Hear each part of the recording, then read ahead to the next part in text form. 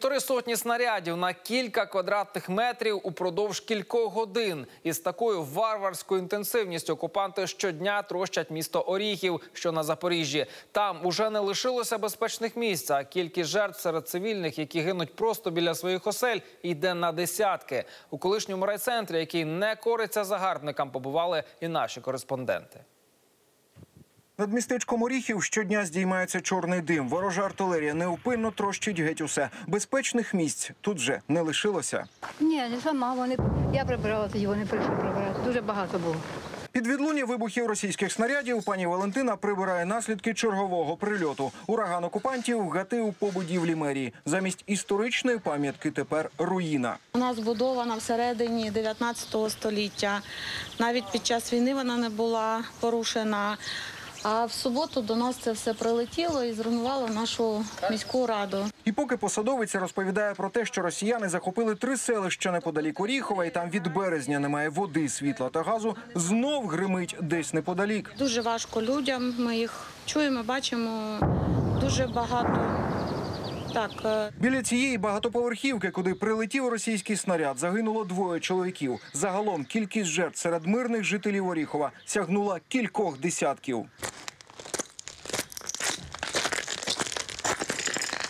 Із 12 тисяч довоєнного населення у місті лишилася третина. Здебільшого це літні люди, які заледве зводять кінці з кінцями. Як, приміром, пані Людмила, що під канонаду збирає квіти в садку. Чим їхати? Ті, що поїхали в Запоріжжя, повертаються назад.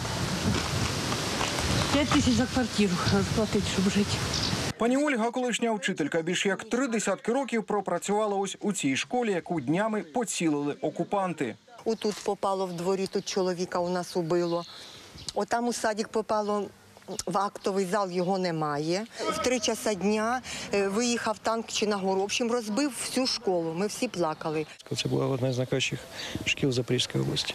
Мер Оріхова Анатолій Хоростяний каже, у місті пошкоджені зо дві сотні будинків. Щоденні артобстріли нівичать комунальну інфраструктуру. Тут постійні перебої із водою та електрикою. Посадовець певен, росіяни казяться, бо не можуть підкорити місто. І за 4 години десь на трьох квадратних кілометрах приходило до 150 снарядів.